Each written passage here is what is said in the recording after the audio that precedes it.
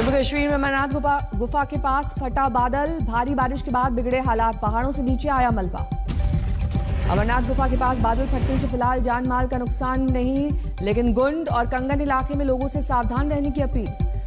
जम्मू कश्मीर किश्तवाड़ में बादल फटने से बड़ी तबाही, सात लोगों का शव बरामद, पड्डर इलाके को ज़्यादा नुकसान। राहत के लिए श्रीनगर और लुधियाना से किश्तवाड़ पहुँची 45 टीमें, एक दर्जन से ज़्यादा घरों को पहुँचा नुकसान 19 लोग घायल। करगिल में फ्लैश फ्लड से हाहाकार, कई इलाकों में अचानक बढ़ा नदी का जलस्तर। हिमाचल प्रदेश में टूटा कुदरत का कहर, लाहौल स्पीति में सात लोगों की मौत। हिमाचल में बादल फटने और बारिश से 24 घंटे में 14 लोगों की मौत, कई टूरिस्ट शामिल, घरों और गाड़ियों को भारी नुकसान। लगातार बारिश से शिमला, कालका रेल रूट ठप, ट्रैक पर गिरा पेड़, पहाड़ों से आया मलबा।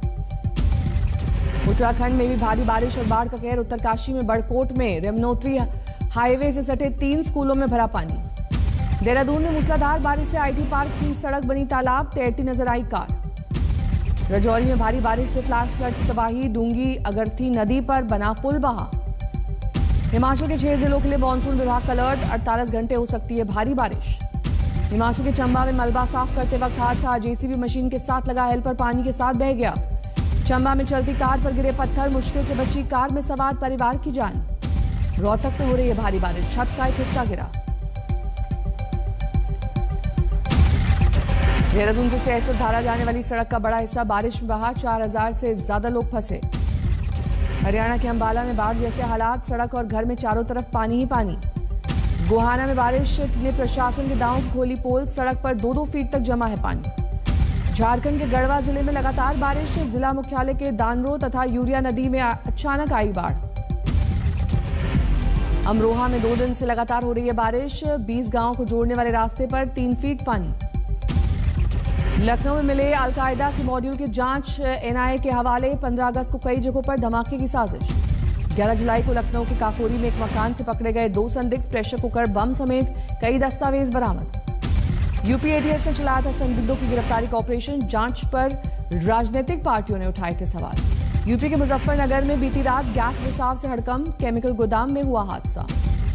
बारिश का पानी केमिकल रिसाव में मिलने से चलते और तेज़ी से फैली जहरीली गैस, कई लोगों को हुई सांस की तकलीफ़।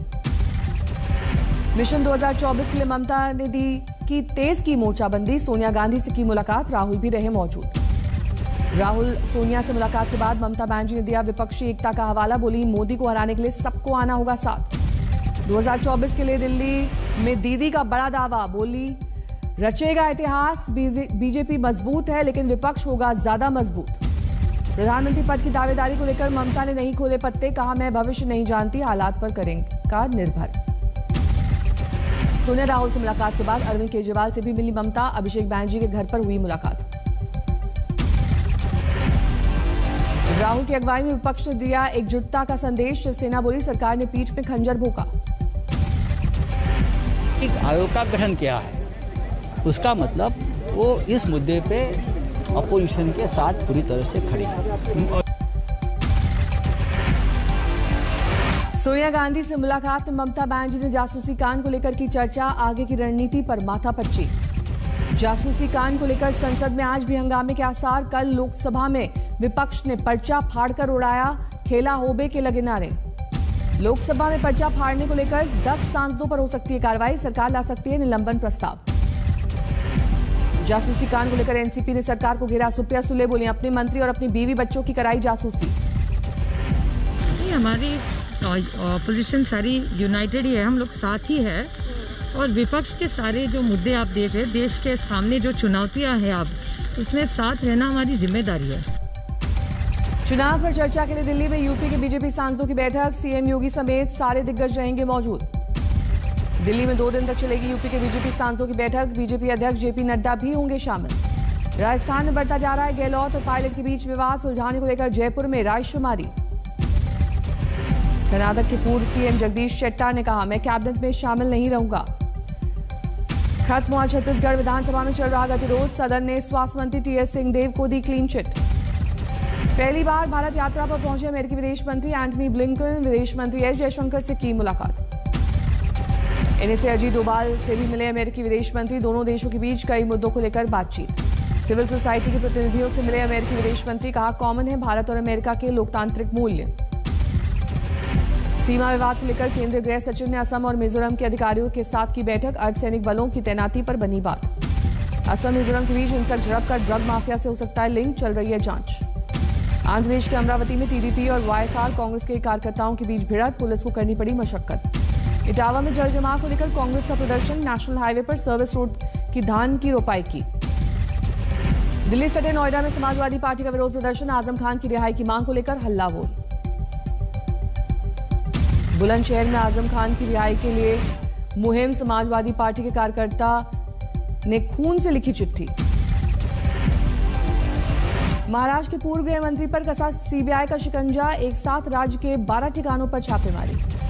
मेरठ में एंबुलेंस कर्मियों की हड़ताल से बड़ी परेशानी, प्रशासन ने दी कार्रवाई की चेतावनी पश्चिम बंगाल के हाथीमारा एयरबेस, पहुँची राफाल की खेप, एयर चीफ मार्शल रहे मौजूद। आरएएस भर्ती परीक्षा में घोटाले की जाँच की मांग को लेकर झुंझुनू में बीजेपी का प्रदर्शन, प्रदेश कांग्रेस अध्यक्ष के खिलाफ नारेबाजी। राजकुंद्रा की जमानत याचिका खारिज, मुंबई पुलिस ने किया विरोध, कहा अब भी जारी है जाँच। यूपी के औरैया में दहेज लोभियों ने विवाहिता को मार डाला, मृतका के माता पिता ने ससुराल वालों पर लगाया आरोप। कानपुर देहात के रहने वाले राकेश त्रिवेदी ने औरैया में बेटी की धूमधाम से की शादी, लेकिन ससुराल वाले लगातार पैसे, गाड़ी, प्लॉट की कर रहे थे मांग। रांची के बड़े बिल्डर्स के ठिकानों पर इनकम टैक्स की छापेमारी, टैक्स चोरी को लेकर एक्शन। बिहार के दरभंगा में साइकिल चोरी के इल्ज़ाम में पीट पीट कर मजदूर की हत्या, पैसा लेने पहुँचा था युवक।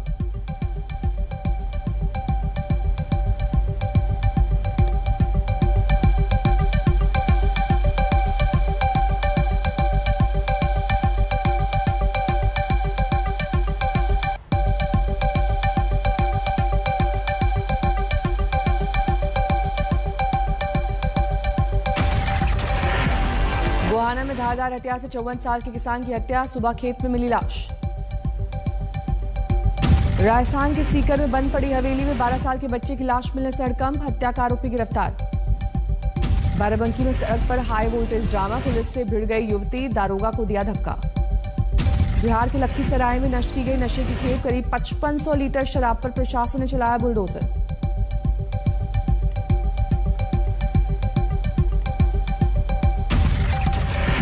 टोक्यो ओलंपिक से भारतीय हॉकी टीम की तीसरी जीत। डिफेंडिंग चैंपियन अर्जेंटीना को मात देकर क्वार्टर फाइनल में बनाई जगह।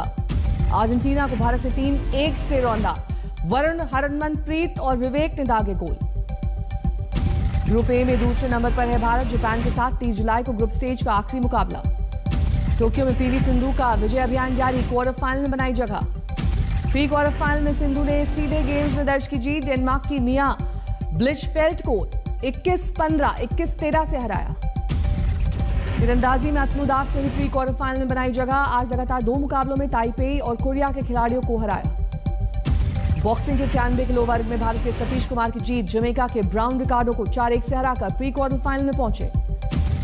महिला बॉक्सिंग के क्वार्टर फाइनल में आज मैरी कॉम की कोलंबिया की इनग्रिड वैलेंशिया से भिड़त। दोपहर साढ़े तीन बजे होगा मुकाबला।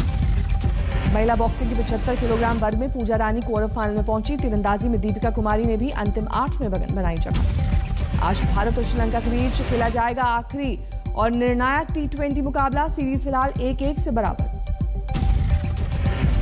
एलपीजी ग्राहकों को राहत देने के लिए गैस डिस्ट्रीब्यूटर्स चुनने की छूट सरकार ने संसद में दी जानकारी।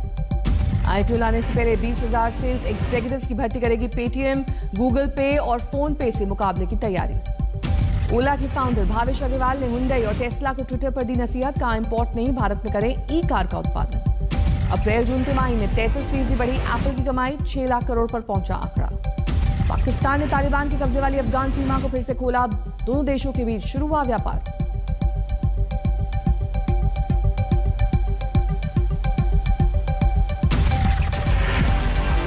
कानपुर में एक दिन में निकले कोरोना के 21 मरीज़, तीसरी लहर की आशंका। बैंक्स में ग्राहक ने पैसे सुरक्षित बनाने की तैयारी की। डिपॉजिट इंश्योरेंस बिल को कैबिनेट की मंजूरी, पाँच लाख तक रकम बिल्कुल सेफ़ किसानों का कर्ज माफ़ करने की सरकार की नहीं है कोई योजना। सोलह लाख अस्सी हज़ार करोड़ रुपए का है बकाया। जानबूझकर कर्ज नहीं चुकाने वालों की संख्या में बढ़ोतरी, आपराधिक कार्रवाई शुरू कर सकती है सरकार। मई के मुकाबले जून में एफएमसीजी की बिक्री उनतालीस दशमलव चार फ़ीसदी बढ़ी। अनलॉक में मॉल्स और दुकान से लोगों ने जमकर खरीदे पैकेट सामान।